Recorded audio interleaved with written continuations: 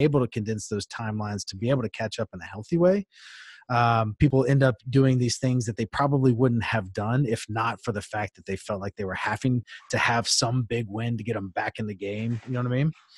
So that's yeah. one thing that I that definitely preach for people to avoid. That no matter how old you are, no matter what milestone you're about to hit or or just hit, that as long as you're still breathing, you've got plenty of time you know I, I would 100% agree with that and from like how you should frame your thinking i mean for me and granted, I'm a pretty radical thinker, right? Like most of the time, the way I'm thinking, people are confused. Like they're like, "Yeah, what the fuck are you saying?" You know. Sure. But like for me, like I always get super caught up on the idea of goal setting. Like you know, I, I see people on online talking about goal setting, all this shit, and like I, I, I get I get it, right? But like mm-hmm. the only reason I even look at somewhere where I would want to be in a year or two years or whatever is so that I can reverse engineer daily tasks. And that is it, right? Like whenever I wake up in the morning, I don't think, hey, how can I like where am I going to be in six months or how am I going to be able to afford this in six months? Like I mm-hmm. literally wake up with only the intention of going 100% all, all day today.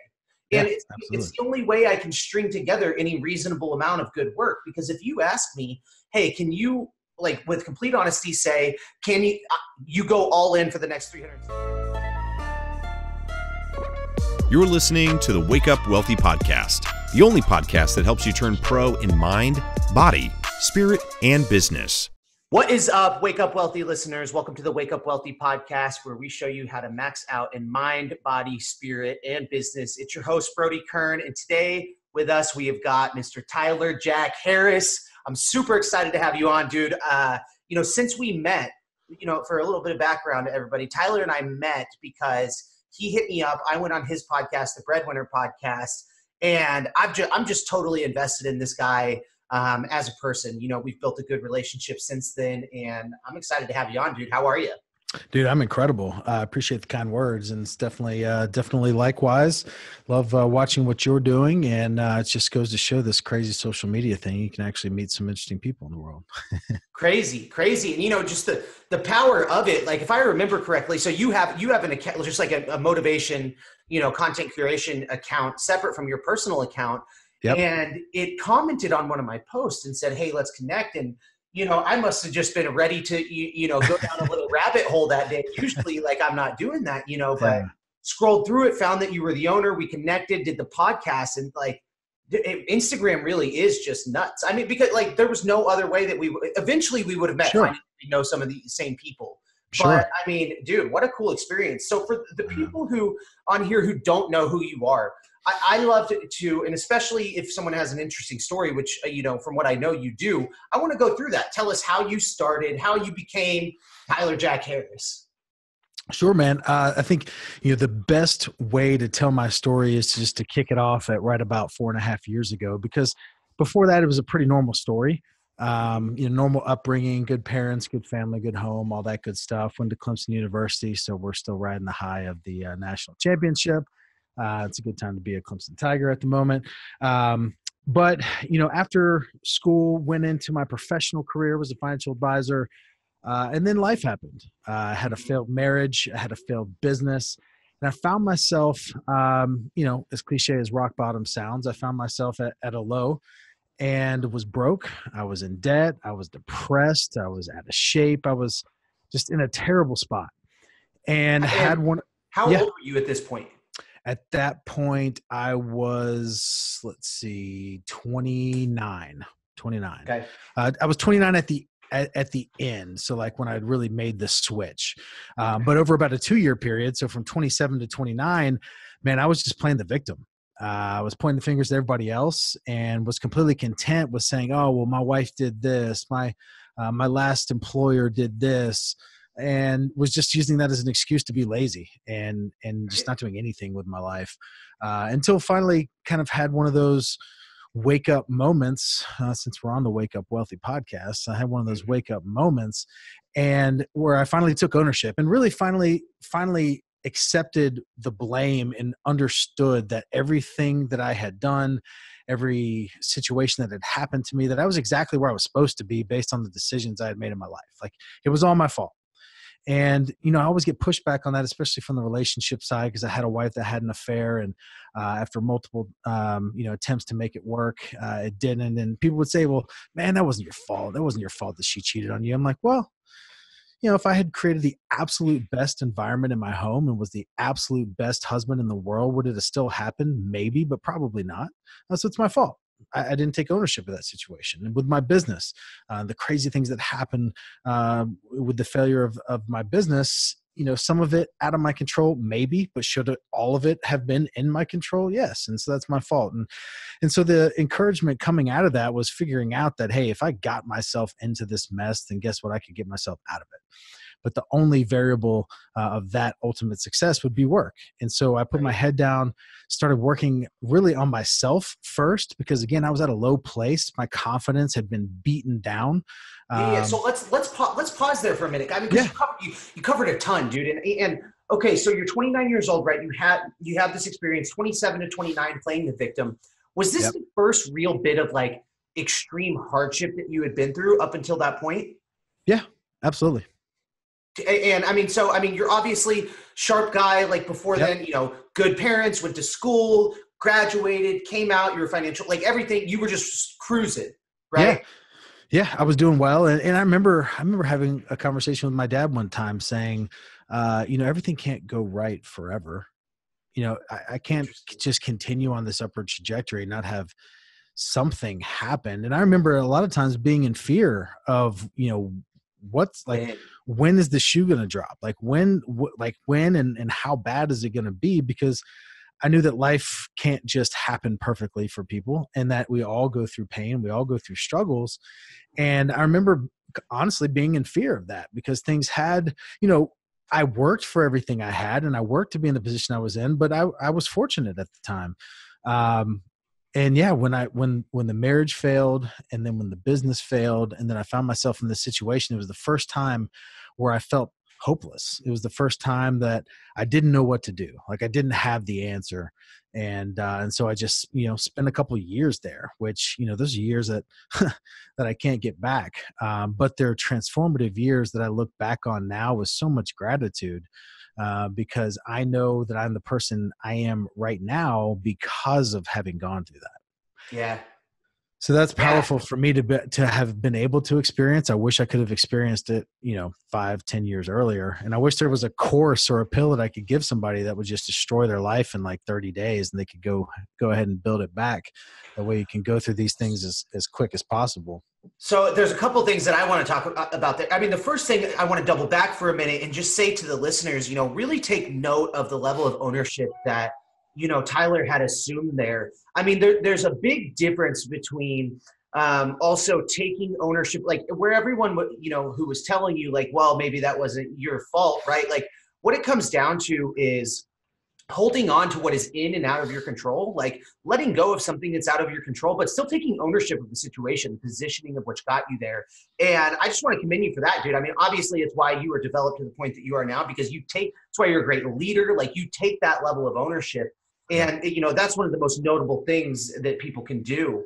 Um, so I, I want to take a minute to acknowledge that, and then Second, I want to talk about the, this idea of giving someone a pill to destroy their life, right? Like, I because I have this fear, right? And you and I have talked about this before. Um, because me, I'm so grateful that like my life was so fucked up at 21. Sure. Right. That I had to do what I had to do. But like, I fear for like my kid. Like, do you ever fear for like your your children or the way that your dad probably did, saying, "Hey, this can't go good forever." Like, what happens when a kid grows up affluent and you know is around the right things? Like, do they develop? Yeah, it's it's certainly it's certainly something that I think about um, because you know I've got a daughter, and I plan on you know raising her in the most incredible environment imaginable.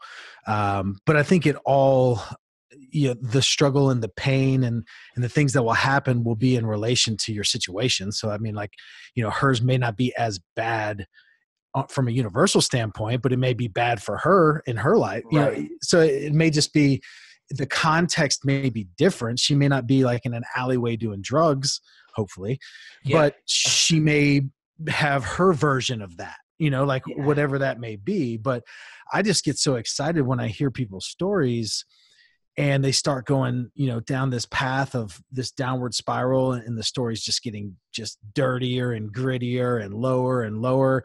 When i know that person's made that switch and made that transition it makes me so much so much more excited because i know that the lower it got the higher they can go. It's almost directly proportionate to how low it went, how low it got, to how far they can go with their life if they have made that transition. That's why I was excited about your story. I was just like, holy crap! Like I, I, I envy that. Like I get to where I envy crazy bad stories now. Um, I mean, it's why both of us really loved the Goggins story. Yeah, of course, absolutely. And anytime, like I sat down with a guy the other day uh, for lunch, and he just unloaded like his life story. I mean, it was deep, dark. It was bad. And as soon as he got done unloading all of the stuff on me, he's just like, "So, what do you think about that?" And my response was like, "Man, I'm so freaking excited." And he was like, "What?"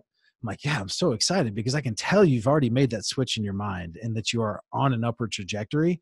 And the fact that it got that bad proves to me how good it's going to be in your life and and like i'm envious of your story like I, I, love i love just having that perspective on life because you realize that I mean, the the quote that I love and and go lean back on so often is that God gives His strongest uh, battles to its toughest warriors.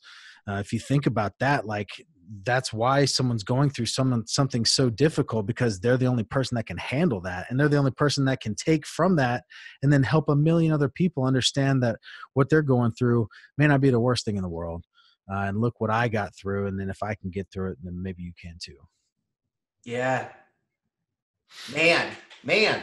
I, I, knew I knew that this thing was going to start off good. We got a lot of places. Yeah. We got, yeah. we got a lot of places to go there. So okay, so you, you, know, let's get back on the timeline for a minute, right? So you are yep. you're 29 years old. You said it's time for me time for me to pull out of this, right? I'm going to take yep. ownership. Um, what does that look like? You're divorced. Where are you, are you living? Like in an apartment by yourself? Like what's going on, man? So I was living in. I was renting out a room in my uh, good friend his house, and it was a tiny, tiny room. I was living there for a little while. Then I moved up to Ohio, helping a guy launch a business, and I was living in the basement of a guy that I met off Craigslist uh, in his house, which was just a crazy whole other story. But um, you know, I, I felt I, I got to a place where I feel like I needed to be alone um, for a while. Um, you know, I'm a, I'm a pretty religious guy, uh, pretty strong Christian, um, I would say, and I felt like God put me in a situation where I had to be alone so that I could finally hear Him, uh, that I could finally get to a place where I was not distracted with all the noise. I always, you know, went from living in a family full of people to a college where I was in a fraternity house with 10 other people to straight into marriage with where I was with someone I was never alone ever. And right. being, and, and I'm, and I'm, you know, even though I'm introverted, I, I like being around people. Um, and so I think it was the very first time that I'd ever been truly alone. And I probably had some of the greatest moments of clarity, greatest moments of just personal growth um, by being all by myself and being able to kind of reflect on where I'm at and where I wanted to go. Uh, but then I met my now wife, and uh, we got married kind of still in this transitional process for me. Like I still had no idea what I was going to do. Um, some mentors came into my life at that time, and they gave me an opportunity to get involved in the business that they had built and it was in the life insurance business which is the business that i'm still in now i'm now part owner of that company um, kind of jokingly say if they had sold you know rubber bands that I'd be you know building a rubber band empire at the at the time. But uh, it was just what they were doing. So I, w- I was all in. It was based on my trust in them the integrity that they had. And they gave me an opportunity uh, to dive headfirst into something and that is really what I needed. Uh, it was a okay, fast so, yeah go ahead. So so at this at this point right so my question is you know life insurance uh, you, you know, was it that far of a jump from the financial planning that you were doing beforehand as far as sales and everything? Mm-hmm. Um, it was very. I didn't do a lot of life insurance sales as a financial advisor. We were basically just pushing um, investment products, but okay. but yeah, I mean, not not crazy far fetched. But I had to go and get my license and all that. right. Right. Okay. And then, so were you really skilled at this time? Like, I we're we're going to talk about it here, you know, in the next forty five seconds, sure. the accomplishments that you had. But did you were you skilled? Not really. Okay. Not really. Like I, you know, I don't think there was any particular like talent or gift that I had that made them say, okay, this guy has to do this because of that. Um, I was just in a place where my back was up against the wall and I couldn't afford to lose. Yeah. Uh, yep. And, I, and that, and that ultimately was what led to the um, coming successes. Yeah. So, I mean, so lay it on us. What happened next? Yeah. So went, you know, put my head down and went to work, I didn't even change my, you know career status on my personal facebook profile. I didn't tell anybody what i was doing because you know i had gone from sales job to sales job either getting fired or quitting you know for that period of two years where i was still playing the victim. And so i just didn't want to have you know one more thing that that tyler was trying out there. Uh, so I just put my head down, went to work. I was spending, you know, over 200 nights on the road in a hotel uh, every year, and sold a lot of life insurance. It was a highly uh, fast-paced environment a very transactional environment, which looking back now played exactly into what I needed at that time, which is my confidence was at an all time low. Mm-hmm. I needed to find something where I could go insert work and get a result quickly, which then built my confidence, built my confidence, built my confidence. More work goes in, more results go out. And it was exactly what I needed to kind of get my mojo back, really. And uh, once I got into that environment and really mastered that system, I then was focused on what was possible. Like I knew that I could could do well, but I wanted to see how much I could exploit this system and how many policies I could possibly sell.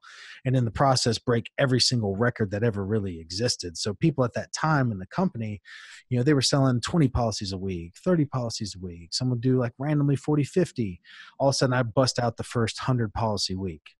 Then I bust out 200 policies in a week. Then I did like 238 in four days. Then I did like 300 and something in in 10 days, and just start absolutely crushing um, you know volume and what we're doing ended up selling over 8000 life insurance policies in three and a half years face to face one at a time these are not group policies where everybody just came in and signed up these were sitting down with people one on one knee to knee um, and them making a decision to buy or or not and uh, the only thing I attribute that to is just an insanely, just almost disgusting work ethic at that time. I mean, I was working 16, 18 hour days um, every single day and on the road all the time, staying in nasty little hotels at the time as I was building my way back up.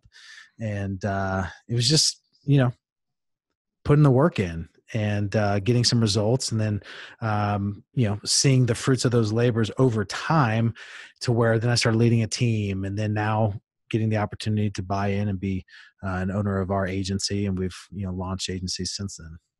Yeah man. I mean dude what an incredible three and a half years. I mean really just shattering oh, records. I mean you're talking about d- doing 200 closes in four days or whatever 238 closes in four days. Yeah. I mean, I couldn't even like it. I don't even know how you'd have that many conversations in that that amount of hours, right? Like it's fucking nuts. Yeah, and and and two like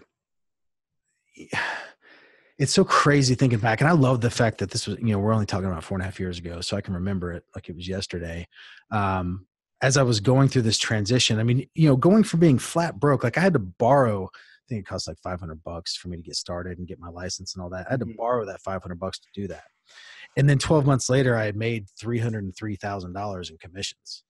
Um, right. like $303000 was deposited into my bank account the next 12 months.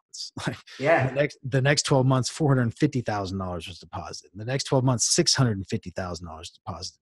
And at that point i became part owner of, of, a company that's worth millions and millions and millions and millions of dollars that ownership piece. Um, and like it literally sometimes it, I just pinch myself. But you know, the thing is, man, like I love the fact that I earned it. like it would it would make me so uncomfortable to sit here and talk to you about where I'm at now and income and and net worth and things like that and not have earned it like been handed it. But the fact that like i know the blood sweat and tears i know the 238 nights in a hotel room when it's the last thing i wanted to do was stay another night in a freaking you know not not the greatest hotel room when i could be at home with my wife and then home with my wife and and daughter. Like i know the hours that went into that and so i love the fact that i can look back and know that i earned every single penny of it. Um, and to me that's something super special yeah, man. I mean, and the, the like the thing that people comment on the most about my story, you also have as well, which is interesting to me. And I want to talk like things can happen so quickly. Like it's been four years since I went to rehab. Yeah. Yeah. It's awesome. Right. Like we're working on the same, like, like things ha- like, I mean, my life is radically different than it yeah. even was two years ago. Like two years ago, I probably, maybe a little over two years ago, I still thought like, dude, like you're just supposed to be a real estate agent in Springfield, Missouri. Absolutely. Like, and, and like, I don't, it's like, you don't want to give people this, um, false representation that like it'll happen overnight, but it can happen so quickly. Like it, in, in a year, I think what's the, what's the quote? People, people, um, underestimate see they underestimate they overestimate what they can get done in a day but they underestimate what they can get done in a matter of three months or something like that. Like one of those quotes. It's just like people don't realize how quickly momentum can shift. Right. Um, and well and, and the thing to the thing to add there too is because you do you know you said it well you don't want to give people a false representation how quickly you know of that it's going to happen overnight.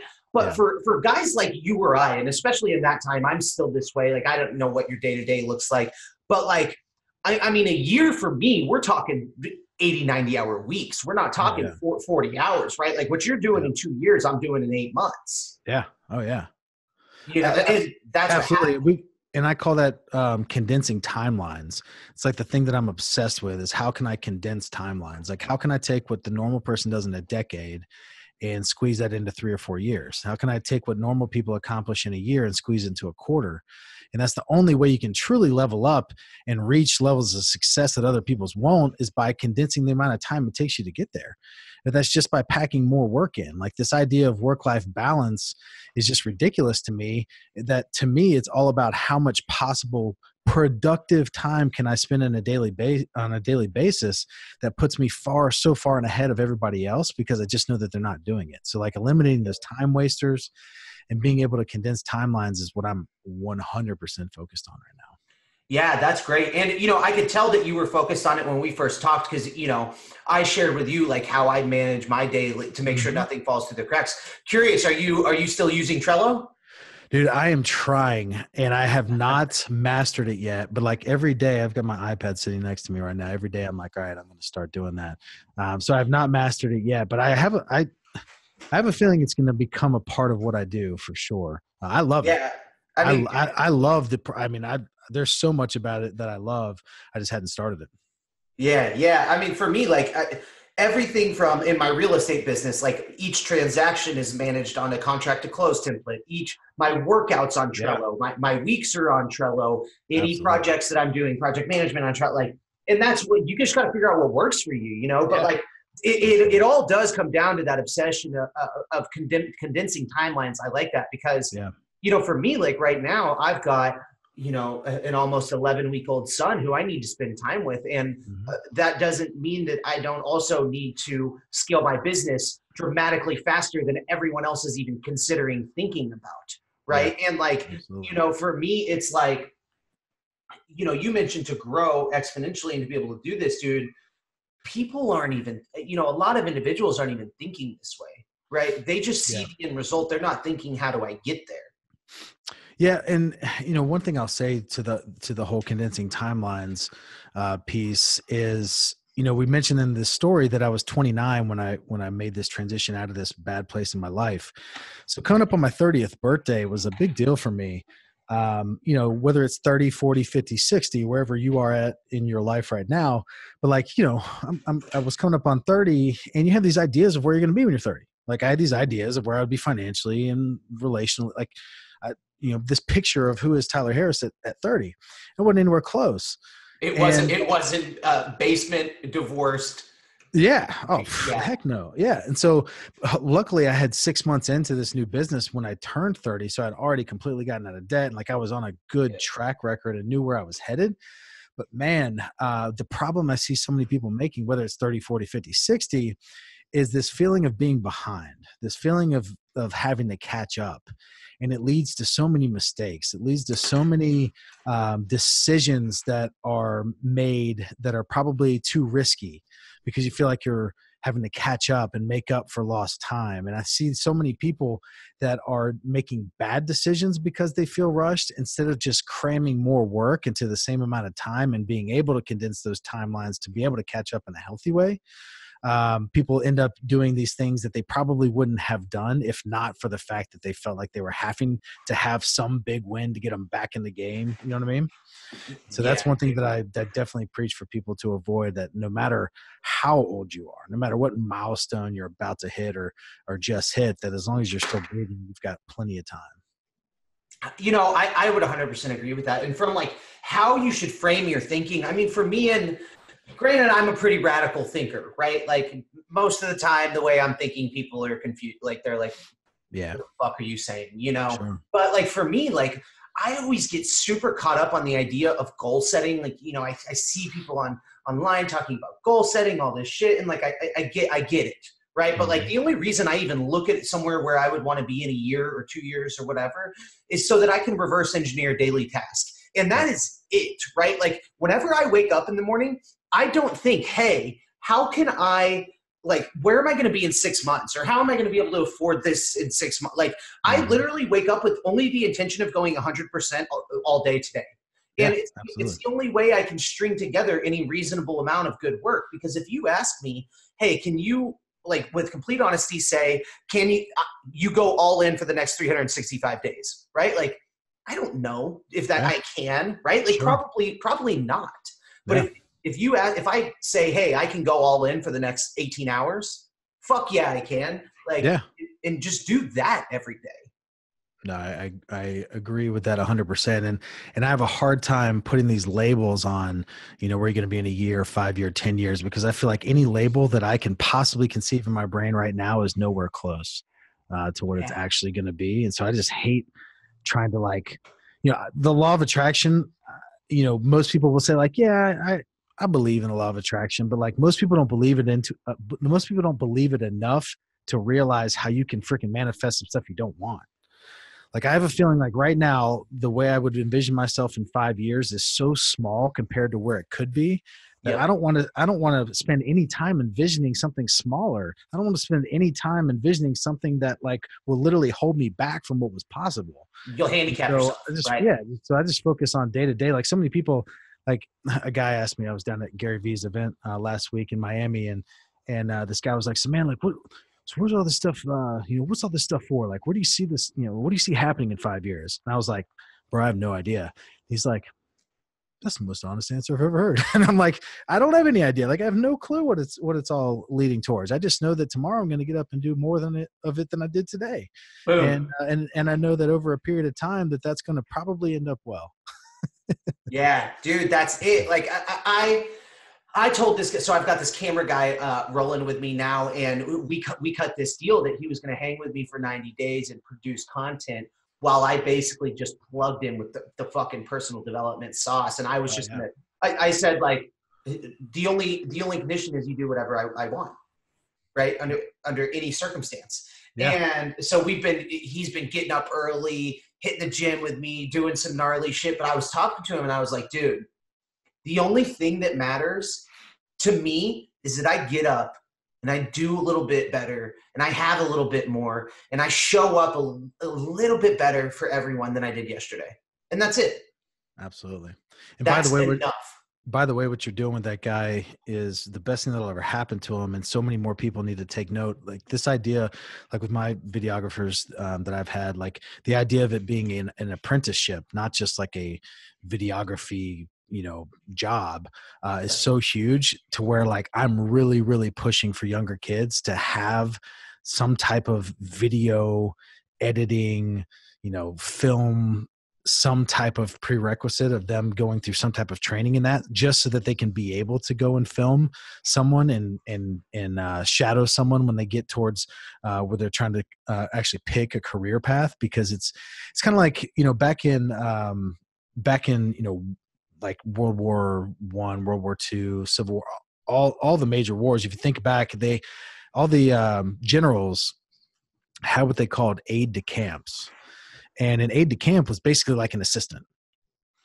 But those assistants typically took over roles like this person was the general that was in charge of you know france and this one person was in charge of germany but they started out as the general's assistant their aide de camp and so if you take that position, someone that's following someone around with a camera and, you know, whether it's creating a vlog or just creating content, like that person has a window into your life to where they can grow so freaking much over the course of 30, 60, 90 days.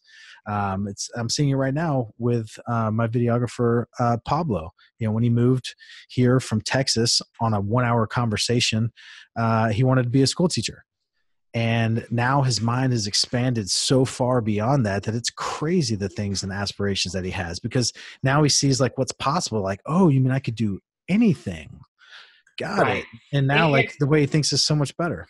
Dude it's interesting you know you said that you you are almost ushering young guys to have some sort sort of that experience and it occurred to me that man, that's really the only value add that someone of no real value could get around a, a higher level individual. I mean, because no one's going to be like, no, you can't shoot for me for free, right? Sure. Like, yeah, like they'll always take another angle if they're creating content, and mm-hmm. then just through osmosis, like, I mean, dude, you hang.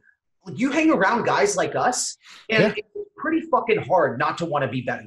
Yeah, it's going to make you very uncomfortable, you know, very quickly, for sure. Right. And I mean, dude, that's what I told. I'm like, listen, dude, like being around me can get intense. Like I'm, yeah. I'm fun and I'm a nice dude and I like, I, I don't judge and shit. But like, listen, dude, like if I'm one thing, it's intense. Yeah. And like you are going to get uncomfortable. But so let like let's talk about the importance of that while we're on the topic of uncomfortable. It's my yeah. favorite thing on the planet. So I want to hear yeah. your take. Yeah, so the the line that we say over and over and over and over within our organization is uh, if you embrace discomfort, the world will deliver you pleasure. If you embrace comfort, the world will deliver you pain. And it's just universal, man. Like if you think about the easiest example in the gym, if you go to the gym and you get uncomfortable, then that's where you're going to grow. If you go to the gym and just stay comfortable, then nothing's going to happen. And so we have been in this this huge mission to seek discomfort in every possible way. And for me it's almost to the point where i get i, I get uncomfortable when i start to feel comfortable in situations. Like Same. the other day i'm just like walking around my house. I'm like man it's a nice house. And and just anything i need i've and i was like i started getting sick to my stomach i'm like oh crap I'm like, I got to do right. something. Like my business partner takes ice baths every day. He, he, he literally gets in his pool throughout the winter. He gets in his pool. It's like 40 degrees. The water is like 40 degrees. He gets in there and holds his breath and goes to the bottom as long as he can. Uh, stays in there for a few minutes every single day, just as a way to shock his system and just constantly putting ourselves in in uncomfortable situations. Um, because that's the only way that you're going to grow uh, is by being comfortable with the uncomfortable and you know some people take that to the extent like you know david goggins you talking about him earlier. You know i've been thinking a lot lately about you know when he talks about there like there is no finish line mm-hmm. and about how like it never stops. And i'm like huh, i don't like that's kind of it's kind of dark. Like you know you have to enjoy some part of life. Like and so like that's I, i'm still kind of unpacking that a little bit because when you talk about like being uncomfortable always and forever uh, I'm not so sure. Uh, but I think that when you're in a uh, growing and transformative period of time, that you always have to put yourself in situations where you can grow, which is going to be those uncomfortable situations that that allow you to stretch. You know, that's in, that's interesting because I, I, had to unpack that as well. Yeah. Um, that that took me a minute to, to sit on, and honestly, though, where I landed was that that was comforting for me because I my my like natural state now is a period of growth. And it's yeah. because I am constantly uncomfortable. And the only thing that, like you said, when you're feeling like you've got everything that you need, you start to feel uncomfortable by that. And for yeah. me personally, that's when I start to, that's when like the addict comes out and I, I feel the need to be like self-destructive, push some people away, fuck sure. some shit, fuck some shit up. Like, mm-hmm. and so for me, that constant state of growth, that constant state of achievement is uh, what I need. And so it's it was comforting for me to be like, yeah, there is no finish line. And then some people will come in and be like, well, you know, you're not stopping to smell the roses or whatever the fuck they say, right? Yeah. Like that doesn't mean that like my parents are ones who say that. They're like, yeah, can't you just like chill the fuck out? And I'm like, mm-hmm. Shut your mouth. Like this doesn't this doesn't mean that I'm not yeah. taking time. Know, I, I I can assure you, I spend more time in gratitude than you guys do. Yeah, yeah, yeah. Well, and there's that whole reality you know based on actual science that it takes just as, as, much energy to try to stay the same than it does to move forward that when you're trying to stay the same that your brain is going to create problems and create situations for you to fix in order for you to stay the same so yeah. when you just when you just take out the even possibility of there being some form of neutral then you either have one of two ways to go and i certainly don't want to go backwards. And so it's like you don't want to like you know climb this hill just to one day start this slow digression you know like right. like that that doesn't make any sense. So then in, in, order to even stay where you are means that you basically have to keep pushing forward uh, every single day and and you know there's there's certainly um you know validity of that i just think that you know once you hit a certain level of success you start to have better problems yeah yeah, well, no, and it's what, what you were just saying is super interesting too, because I've never looked at the science of like staying the same. But yeah. what I know from personal experience is that like life is always going to do life. Like it, life will, that's a machine that is always yeah. running, and you just got to figure out how to fucking dodge yeah. it or hop, hop on. You know, so like no matter how much, if I take five steps up, like I don't have to, something's going to knock me down a couple. And I just got to make sure that I don't start rolling down the stair set, right? I got to make sure yeah. that I'm just getting back up. Yeah, no, I agree with that. And I love, and I love how Goggins talks about the fact that like one day when he dies, that basically God was going to say, okay, here's the things that we had, you know, listed out that were going to happen in your life. But he talks, and this wasn't in the book. It was something I heard from him somewhere else where he talked about the fact that they're going to have to like, you know, rip that sheet of paper out and, and, and start a whole, still be drinking milkshake, spraying cockroaches will like start a whole nother sheet of paper where God's like, I didn't see this happening, and I didn't see this happening, and no one thought this was going to happen. And that's on a whole separate sheet from all the things that that were set out for him to accomplish in his life. And and to me, that was extremely, extremely interesting. It's like to get to a point where you've already accomplished anything anyone would have ever imagined you would, but then still being able to keep pushing further. And there's you know there's a lot to be said that. But I think if you enjoy the process, which is more, most important, if you're enjoying the process of growing, then that's what makes it sustainable long term. Well, that's where that's where you and I are at. I was just about yeah. to say. I mean, dude, like my expectation was dead at 20, right? Yeah. When I hit when I hit 21, people were like, "Wow." Yeah. Like, you know, and like I love the process. I know that you love the process because I see you out there like fucking running.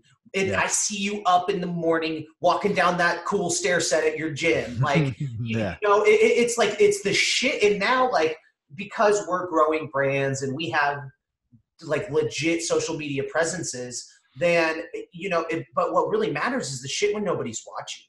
Oh, yeah yeah that whole how you do anything is how you do everything and to me like what you do and no one watching that's like that's my definition of integrity That yeah. is my absolute definition of integrity because it's so easy um, it's so easy not to follow through when you know that no one else is ever going to know um, but to me that's that's where you ultimately find out who you really are and that to me that's where like that strength come from comes from that you can pull on later on when you actually need it it's like yeah. oh wait remember all those freaking mornings when i got up and did what i didn't feel like doing and that's that strength that you hold on to when you all of a sudden you get into a situation where you're like crap i don't know how i'm going to get th- through this and you're like oh wait yeah i do that's what I've been waiting all this time for. That's what I've been training all this time for. Um, and to me, that that's exciting. And and and I like being able to document that stuff on social media and and show people you know be transparent be authentic so that people can see the good bad and ugly so that when you're good, bad, when they're looking at your you know instagram stories they're not just seeing like all the highlight reel type stuff that they're seeing real um, you know real footage of you good bad or ugly. Uh, that's why i do so much live content. I mean i did you know over 400 facebook lives the first year i started documenting my life uh, because i wanted people to know the real me. And some of those lives were me freaking crying in the car because i'm about to go in my you know hotel room for the 11th night in a row and i wanted to be at home with my six month old daughter but i had you know this stupid crazy goal out there and was trying to hit it and you know just got emotional but like the response that happened after that was unbelievable.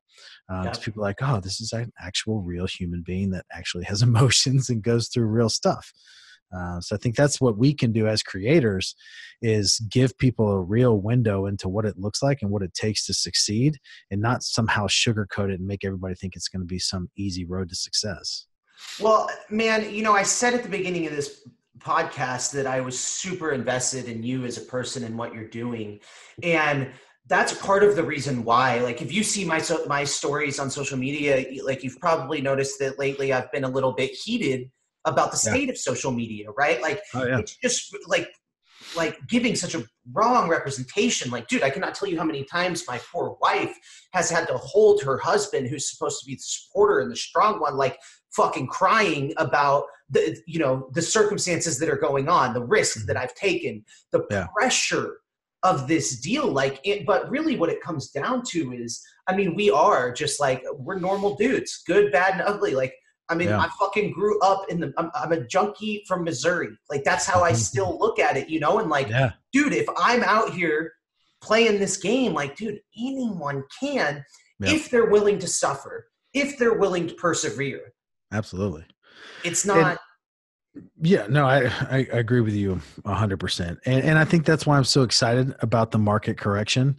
Uh, I'm excited Same. for the market to just absolutely just collapse because it's gonna there's gonna be some shakeout and there's gonna be a lot of that fake stuff is gonna be gone. A lot of people aren't gonna be able to afford the extra ad spend to put their you know ridiculous content out there, and they're not gonna be able to afford to you know create these videos with fake cars and fake women and fake houses and all this stuff and and the real people out there that have built real businesses um, are going to prevail and, and that's what the market needs right now is for that to happen as quickly as possible. So i, I cannot wait. We're building strategy upon strategy to capitalize uh, on that happening with the expectation that the return is going to be huge um, totally. and able to actually like capture people and they're like oh you mean that guy's real? And and show you know and some people that that aren't ready for it they'll be able to document the process of of going down and it'll be helpful for them as well. Like, and, and i hope that happens that's interesting. That's interesting. That's not an angle i that's, thought about. Dude that I, I, can't remember who i was talking about with that uh, about that recently but like that's the best possible scenario for someone that's like a financial advisor or a real estate agent and when the market crashes for them to document every step of the way and how bad it gets and to be completely brutally honest. Like i have this much left in my checking account I have this many days until I get my final late notice on my house. I've got this many days until my car gets repossessed. And to document that whole process and then swing back up and get everybody's admiration because they watched you go through that and they're so happy for you that you pulled through, like that's going to be the ultimate, ultimate freaking documentation.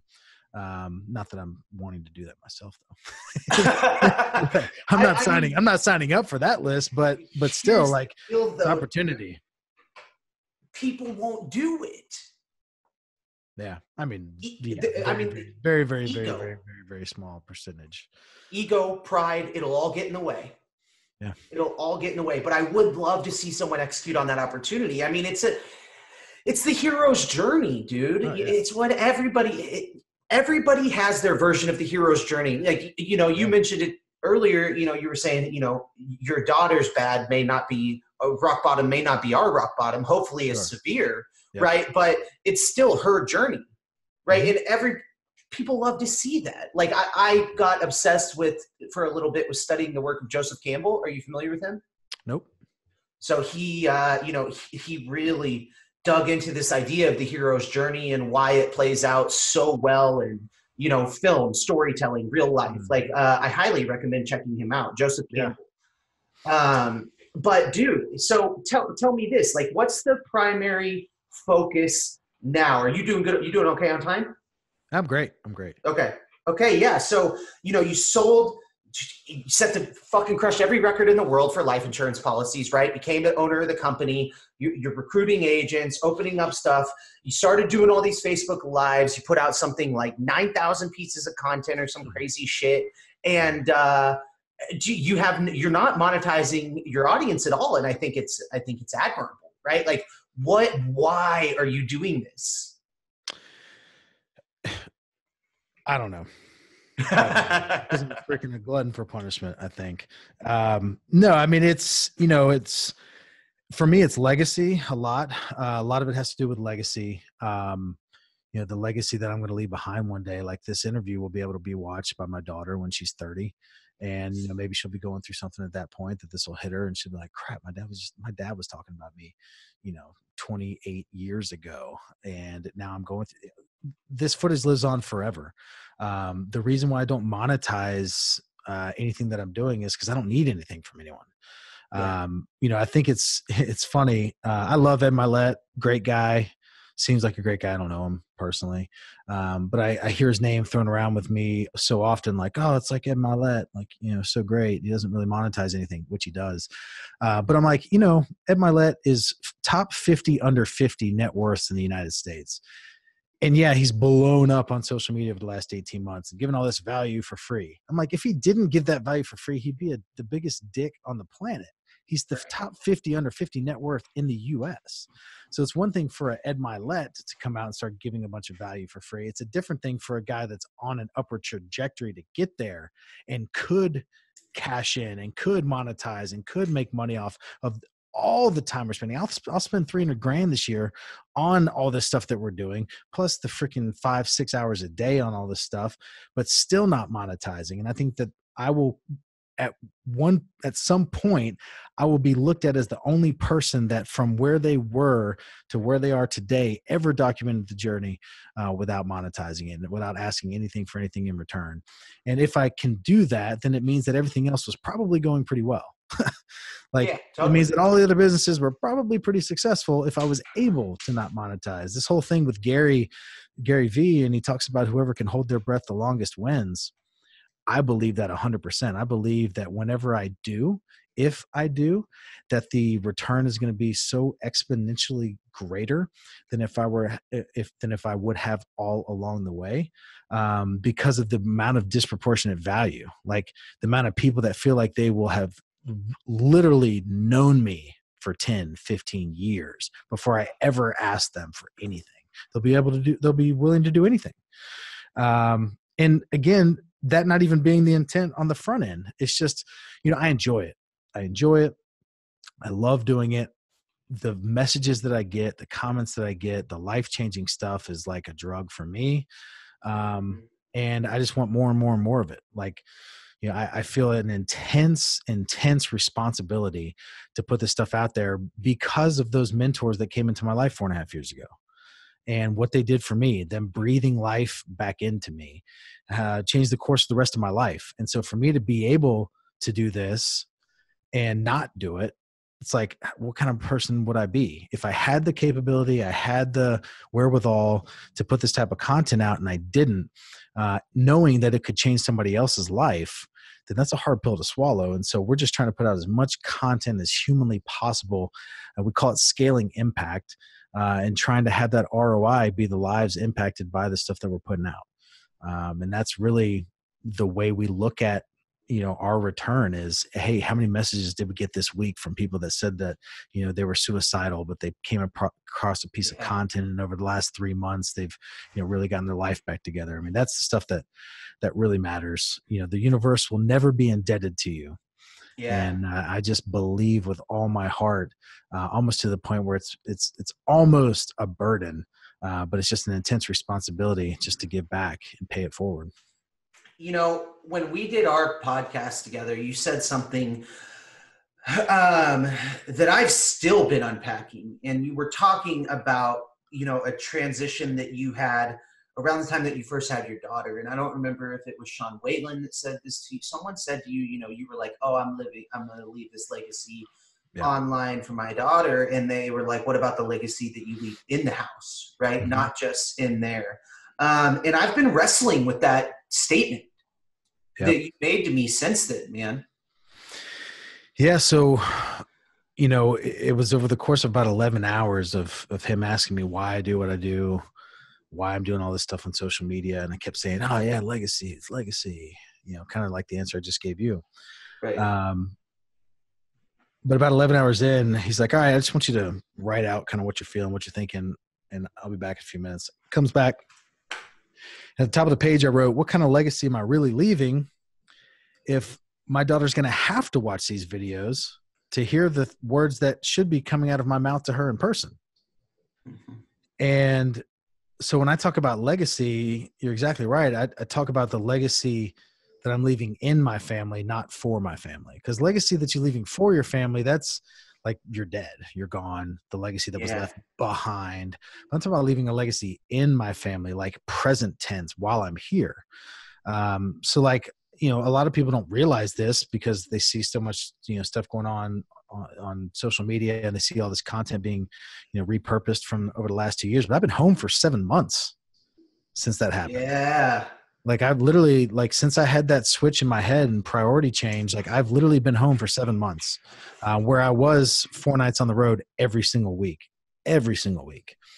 Um, and so a lot of things have shifted. Like i, I spend like so pablo my videographer he just started um, you know four months ago and he had seen all the content that came out before and about a month in he was like I had no idea that you spent so much time with your family. and I'm like, yeah, like because it's it's the most important thing. Um, and luckily, I have a, a, wife that supports me in what I do, and she's super strong and super independent when I do have to travel. And so she was completely on board when I was traveling. Mm-hmm. Um, but it, you know, to me, it's about being all in in all areas, and and I think that's the problem that people have with work life balance is that they use it as a way to convince themselves that they need to work less when really they just need to spend more time in all those areas and quit wasting so much time.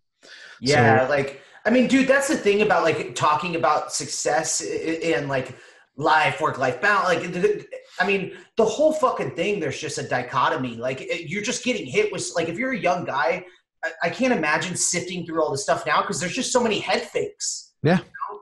Yep. No, it's ridiculous. And and to me, so I, I've completely taken off the table any any idea of ever having balance. To me, it's just it's all about recognizing the imbalances and being able to adjust accordingly uh, as quickly as possible. So being able to realize that you know um, I haven't been communicating with my wife well for you know a few days, and me being able to quickly be aware of that and adjust but yeah. as soon as i adjust i'm going to figure out an imbalance somewhere else. And so it's always being able to be aware of where the imbalance lies and then being able to adjust your effort and adjust the time that you're spending accordingly. But the idea that it's ever going to be in perfect balance is ridiculous. So if you think about it more of just like a harmony to where it's just like always constantly ebbing and flowing but you're just like aware adjust aware adjust aware adjust and just become a normal part of your life uh, to me that's way more realistic than somehow like telling some person that you're going to give them the secret to you know happiness through balancing their home life and work life and body and yeah it's just it's ridiculous. See for me for me it's like like i truly believe in mind body spirit business. Like that's what you need to be happy. But like dude you like obviously me hearing like the idea of balance like work life anything like that like i'm a fucking alcoholic right like yep.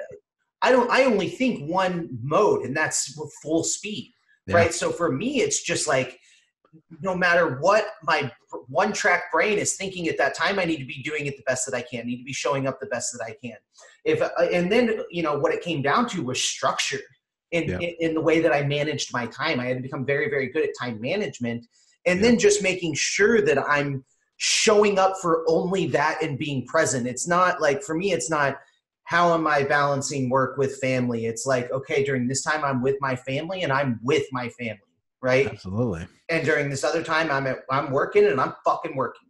Yeah. I mean, when, when I was traveling so much, it's funny. I would have friends that, that would say, man, you need to, you know you're gone so much you need to be home you know you've got a daughter you've got a wife. And i would look at them very very very bluntly and say man i spend more quality time with my wife than you do and you're home every night.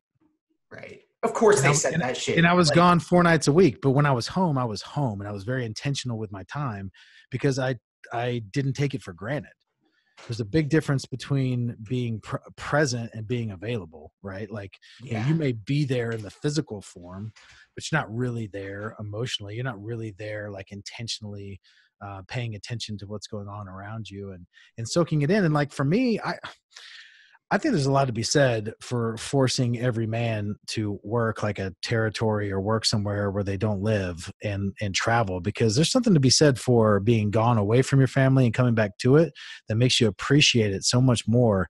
And it makes you you know for me it made me more intentional about that time and wanting to soak up every second that I had with my family before I hit the road again.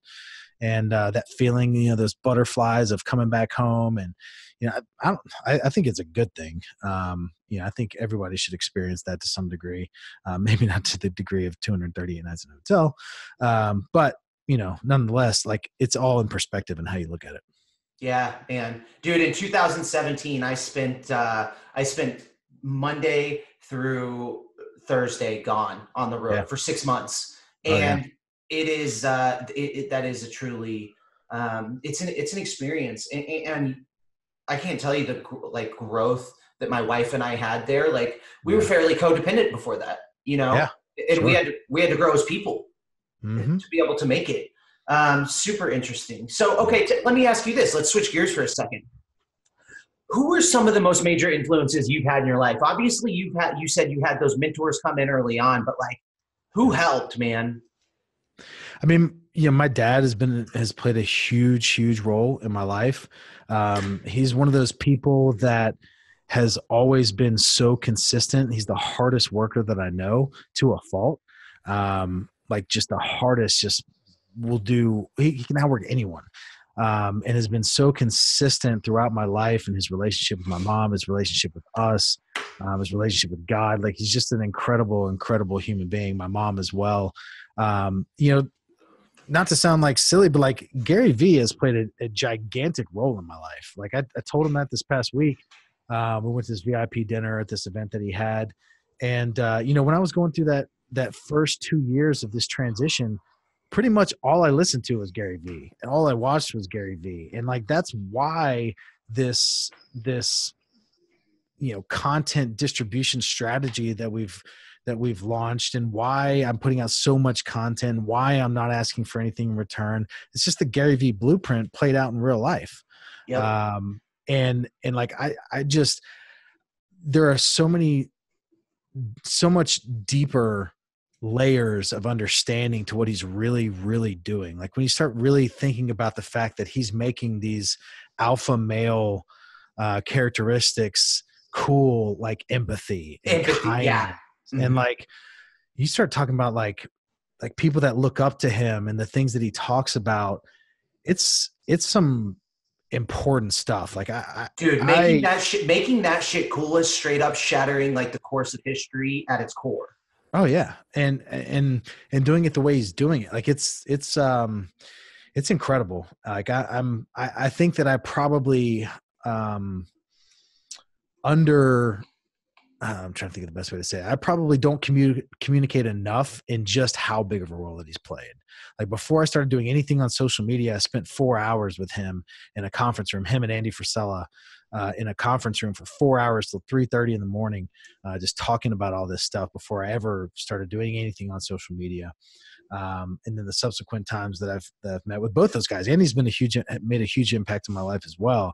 He's one of the rawest, like realest people that I know um, and has come into my life in a in a couple of times where it was you know him coming to me saying hey bro you want some feedback and i'm like yeah absolutely and him giving me some like real you know advice um so yeah, you know those, you those know, two have impact I need to get in contact with Andy. I mean, I'm just three hours from him, you know, a little yeah. less. Like I need to yeah, get up. I need to get up there to see him um, and figure that out. And dude, I mean, Gary has been a huge huge impact in my life as well. My only dude, my only beef with Gary is that he fucking is always hating on the idea of a 25 year old uh, coach. Like, well, it says life coach, and and to be honest, I get it. And he he has said, like, I admit there's some unicorns. I yeah. like to consider myself a unicorn. You said it on your podcast. You're like, yeah. I didn't really know what to think. Yeah, I mean, well, I think when you consider your history, you're probably like 45 in like yeah. you know normal people's uh like your life experiences age you like, you know, TJ that used to be my videographer he's like an 80 year old trapped in a 24 year old's body like you know there's certain people that their maturity levels you know on a on another level and just their life i mean the sheer life experiences will grow a person more than you know the amount of time they've been on the earth but, but yeah i mean there's there's some stuff i mean he he's an alien like i legitimately believe that he may be an alien like i know a lot of people that talk to him on a daily basis and they and he never they can never like andy andy always talks about the fact that like he can't talk to him and and go into anything other than business. Whereas he'll talk to Grant Cardone and they'll talk for half an hour and not mention anything about business. Gary, it's only only business. But thing is, like he loves it. Like you know, I've come to this realization, you know, recently here, like you know, started thinking about the outside from the outside looking in. It appears as though I have zero social life because I don't go out. Like I quit drinking. Like I don't go out to bars. I don't, you know, hang out with a bunch of friends on the weekends, things like that. But the reality is, I have the greatest social life ever because my business partners and the people that I work with are my best friends. The things that I do, like what I'm doing right now with you, is what I I consider fun. So like I have fun all the time, and I'm with my friends all the time. Like I have the best life, but from the outside looking in, it's like, oh, all he does is work. I'm like, no, that, that's where you're wrong. Like this doesn't work to me. I would do it whether I was making money doing it or not, which I'm not. like, like a lot you're of like, not, right. Like, that's like, the thing. It's like that's the only reason I'm willing to do this stuff um, is because I just absolutely love it, and I just, man, it's gotten to this weird point with me now, and I'm gonna start probably getting a lot more vocal. It comes across as like calling people out, which you know I'm just gonna have to get a lot more vocal uh, uh, and upfront with people about it. But to me now, like there's enough information out there, mm-hmm. and I get it. Like if somebody doesn't know who Gary Vee is, it always like drives me crazy. Like I feel like it's like telling me they've never heard of water. You know, like people that like don't understand all this stuff, and majority of people don't understand all this stuff. But like people that that get it a little bit. Like if you have an iPhone and you have the ability to hit record and just talk and you choose not to, you're literally robbing your kids, you're robbing your grandkids, you're robbing your great grandkids of the most powerful content that they will ever ever ever see. Like the stuff that they would absolutely cherish like you know when someone dies like someone's grandmother dies and they find some like crinkled up diary oh, like in an old yeah. box and they're like oh i've been reading my grandmother's diary for like the last 60 days in a row and i just can't you know i carry it everywhere i go. Like imagine that but finding a thousand hours of videos. Like imagine like being able to watch a video of your dad when he was 30 building a business and like just behind the scenes footage of him like talking about you when you were four at the time or you know whatever like they would I, would watch those videos every single night like that's what i would go to sleep to every night would be watching my dad watching my granddad watching my mom and so if you have the ability to do that and you are choosing not to like i have a like you know that whole drawing a line in the sand like i have a really hard time with that like someone is choosing not to yeah. And they're robbing, they're robbing future generations from content that they would absolutely die for. And man, that's that's a that's a that's a tough one for me. Um and so, you know, that's what I'm doing. Like that's like I'm doing this with the intent of people seeing this 100 years from now. Um and I think that there's there's something powerful when you look at it with that long-term vision. That's inter- that's interesting, man. You know, I, my mind was just going a million different directions. I mean, because I've, I like hate it whenever I see someone that just like, and this is me judging, which I shouldn't be doing, right? But when I'm just yeah. like, like I see it in normal people, and sometimes I'm like, wow, you could really use like the 12 steps to AA, or like, right, like this yeah. person, could, this person could use some personal development, right? And like that's me yep. judging, which is a character defect, but like, fuck, man, it's all there. Like, don't you like? I struggled early on, like with you know people in my family, my parents, for example, right? Like, don't you guys want to be better than you were yesterday? And eh, after you know years of banging my head against the wall, it just came down to I think the answer is no, and that's okay because yeah. that's that, that's their choice. Yep. Yeah, and and the thing is, like, if they're happy, then and they're not complaining all the time, then like that's awesome. Like it's the people that are complaining about like you know their life but they're not doing anything about it that really give me you know a lot of a lot of heartache uh, but like if someone's happy like i get it like you know you you you're in the bowling league and you play basketball and you're you know, constantly at the bars, you're doing this and like you're having fun and you're happy and like that's that's fantastic. It's not for me, but that, like that's great for you. It's the ones that like still complain about like, oh, you know, so and so got this raise and you know that should have been me and yada yada yada. It's just yeah. that's the stuff that um, drives me crazy. But you know, again, like well, that's just not you know that goes back to you take like someone taking extreme ownership. Like I mean, dude, you have we talked about it in business, in your life, in your family, how you deal with other people. Like let's also talk about like, dude, you have taken serious ownership of your health. Yeah. Um, yeah.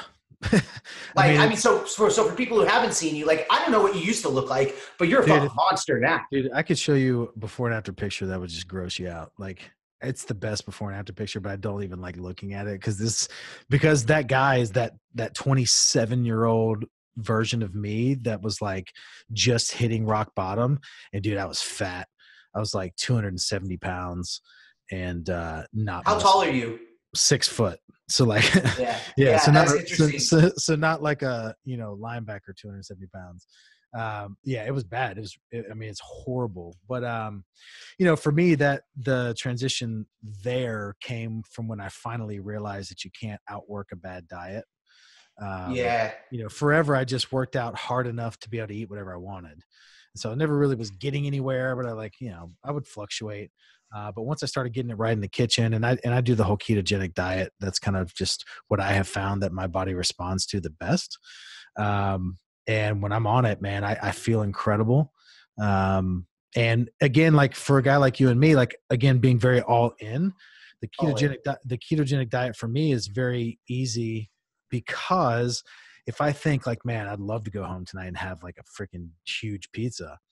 But if I think about the fact that like, well, it's going to throw me out of ketosis, it's going to take me a couple days to get back in. I'm going to feel like garbage in the morning. Just that five, ten seconds of like contemplation, I'm like, ah, it's not. I really don't want it that bad and I'll eat something good. And so it's like with the ketogenic diet, you're either in ketosis or you're not, like or ketogenesis. You know, you're either in it or you're not.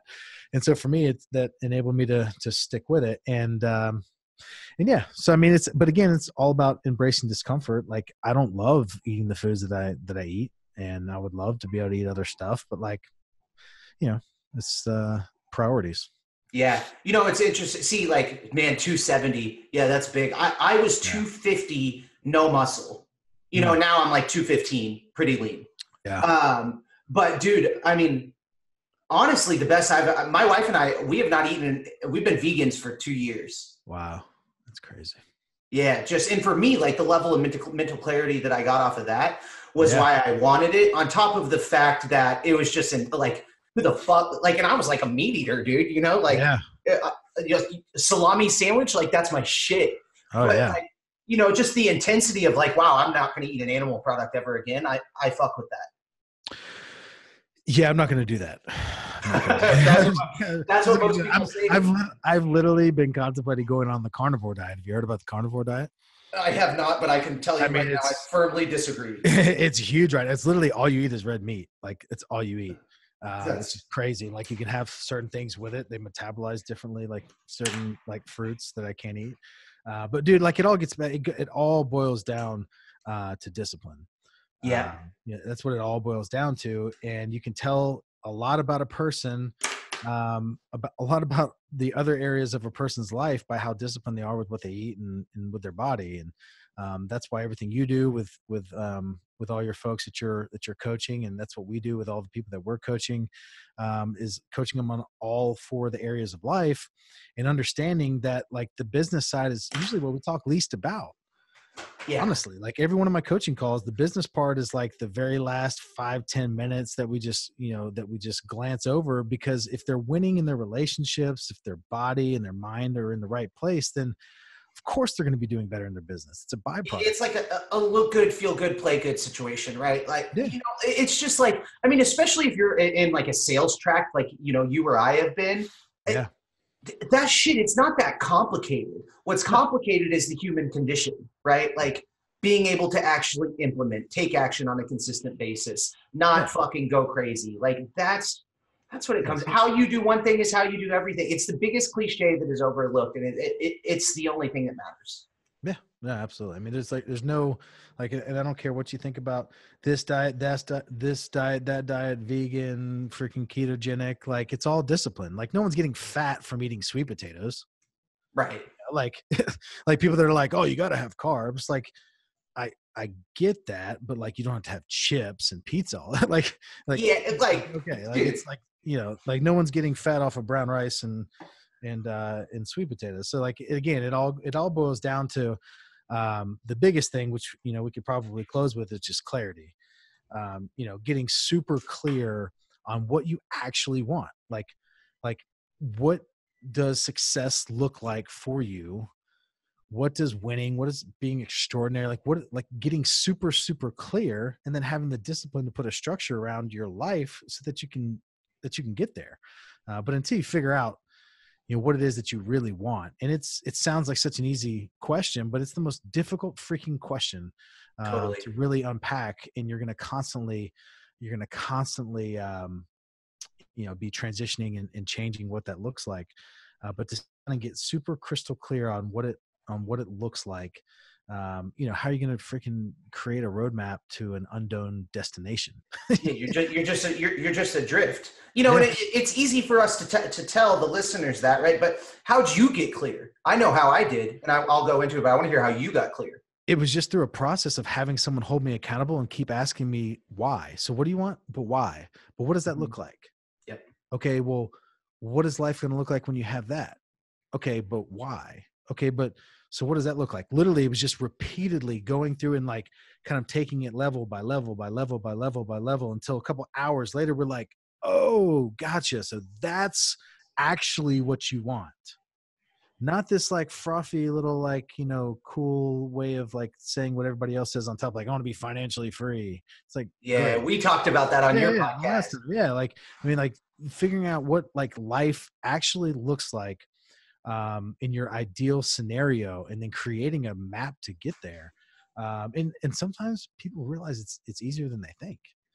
Like sometimes yeah. it's, it's not as crazy far-fetched as as they think. Like they think this idea of where they ultimately want to get is so far removed from the actual things that are going to make them happy when they get there well it's like that it's like that impossible it, it, they do make it impossible. It's like that picture of you seen. It's like how to make a million dollars, right? And then it's like you charge X amount of customers this, and it shows you like ten different ways, and it's like, well, that seems pretty reasonable, you yeah. know?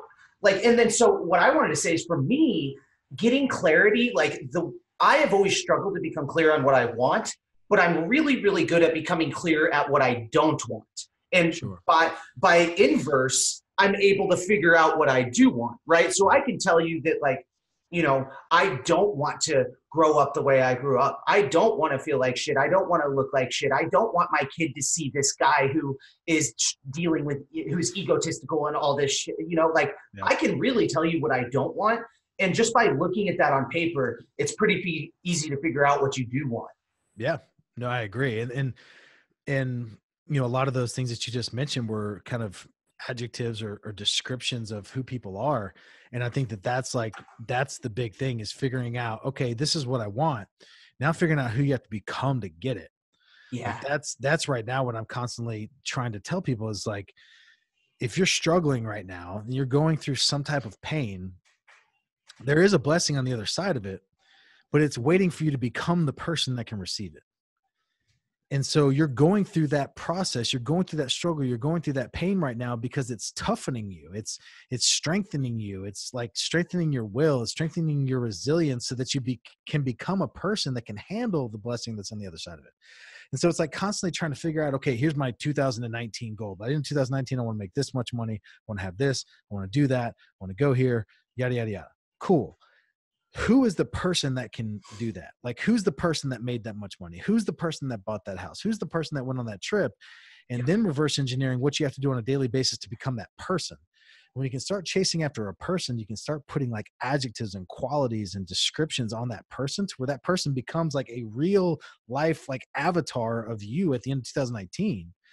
And you can literally start visualizing yourself in those shoes a year from now and man that takes that takes everything to another level whether where it's not just like how many you know dollars did i earn this week towards what i ultimately want to earn this year it's like no how much closer did i come this week to becoming the person that i know that i'm going to have to become in order to to take my life to where where I want to go and to take my organization to where I want to go. That's one thing I've seen my business partner do, um, and, and been able to watch him do so incredibly is he knew that in order to get our organization to where we're going he was going to have to become a different person. He was going to have to be able to handle different things. And so i've seen him put himself through so much discomfort uh, over the last three four years um, on purpose to become a person that could handle all the things that he's had to handle over the last you know year 18 months. And it's been awesome to watch someone do that intentionally and for it to like play out perfectly it's like, man, right. now, and you don't, it's all, you know, a lot of times it's in hindsight. You don't always say, like, oh, I'm going through this thing right now so that I can go through that later. But it's in going through those things, you're understanding that, of course, there will be a situation that's going to pop up next year that this is going to come back and, and really give me the strength to get through it. You know what I mean? Well, dude, the kind of guy that dives to the bottom of the 40 degree pool every morning, that's my kind of guy. Like, oh, that's yeah. what I, that's what I like. You know, yeah. um, I think that we are at a really a really good closing point, dude. Sure. Um, I mean, you and I could go like. You're the only person who's been on who I'm like, fuck. Like I was thinking, we're probably gonna have to do round two at some yeah, point. For sure. Uh, but dude, I, ju- I just love shooting shit with you. I appreciate you yeah, taking man. time to come on. I know that you got all sorts of stuff that you got going on, and I think that you know everybody listening is gonna take a ton of value from this. So, it. dude, you were totally appreciated by I'm sure everyone in your life. Absolutely. And I appreciate you, man. Like the stuff that you're doing is incredible. The the things that you're teaching uh, people on a daily basis. Um, I mean, it's just the way you show up in the world, and I can't uh, couldn't be more proud. Um, and the fact that now you've got a son, so I know it's about to just get set on fire because uh, it did for me. And and as that son actually turns into a human being, not just like this little alien that poops and pees and yeah screams, when when all of a sudden he starts talking and starts like having like conversations and realizing what's going on, it's just like you're like, holy crap, I've got a lot of work to do. yeah, dude, I'm so I'm so excited. You know, we're at the point now where like he's just like making noises and like yeah. smile, smiling. Oh, dude, it, yeah. I mean, stops me in my tracks every time. Oh yeah. Um, so hey, before we wrap up, tell everyone where they can find you. I know that you just got a new IG handle. Yeah, so everything is at Tyler Jack Harris, and uh, we just launched the website actually today. So if you go to tylerjackharris.com, um, go there. Um, we've definitely given out some free stuff there, including a book that I just uh, finished, which is the Sales Wolves book based off of our Sales Wolves podcast. You can download the PDF there.